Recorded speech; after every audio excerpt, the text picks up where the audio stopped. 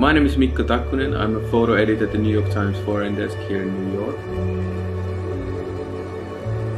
It is about just capturing the world as it is, but in a in, in, in kind of a new in a new way, a new light, seeing world differently beyond the obvious, and trying to make the ordinary seem extraordinary.